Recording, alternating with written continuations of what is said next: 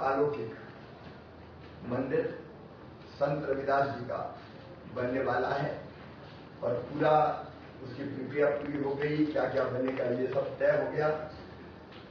Three D image भी उसकी आ गई, उसका पूरा प्रारूप भी बन गया और सारी प्रक्रिया पूरी होकर भूमि पूजन होकर काम प्रारंभ वहाँ होगा।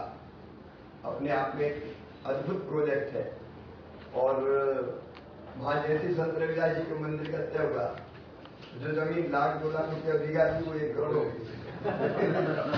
एक करोड़ पाँच करोड़ में बता रहे थे। उन जमीनों के रेट, के।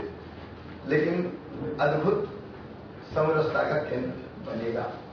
और मेरे मन में ये भी है कि वो निरंतर कर्म पे ज़ोर देते रहे। तो आगे जाके ग्लोबल स्किल सेंटर जैसा उससे जोड़ के बनाना चाहिए। क्योंकि ने हमेशा ये कहा। मंचंगा तो गणपति में गंगा अपने जूता का बनाने का काम कर रहे हैं बोले इसी में तो संजय मेरी तरफ़ से तो ले जाने का भी राज़ी इस काम में लगाऊँगा और जो काम से मिलता था वो भी बांट देते थे। अपना सौभाग्य के ऐसे संत रविदास जी गांधी के कई राजा मीराबाई जैसे उनके शिष्य थे। शिष्य थे बाकायदा शिष्य बने तो कल प्रधानमंत्री जी पढ़ा रहे हैं सब उनका स्वागत करें। अमरकंटक अपना ऐसा पवित्र स्थल है, जहाँ बड़ी संख्या में पर्यटक आते हैं। तो दो चीज़ें, एक, श्री नर्मदा जी लोग वहाँ बने वहाँ जो स्थान है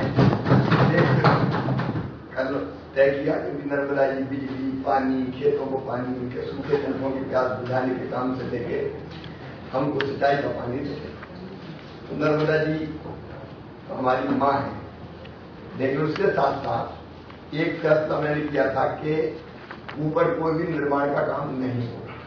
क्योंकि नर्मदा जी की धार को कल कल छल छल अविरत बहते रहने देना है तो वहाँ निर्माण अब नहीं होनी तो सीमेंट, कंक्रीट का जंगल बन जाएगा तो फिर नर्मदा जी की धार प्रभावित हो जाएगी। और इसलिए कल वहाँ ये डिसाइड किया